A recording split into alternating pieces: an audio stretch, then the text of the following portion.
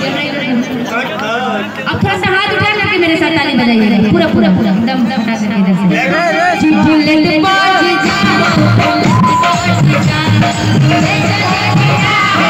इधर से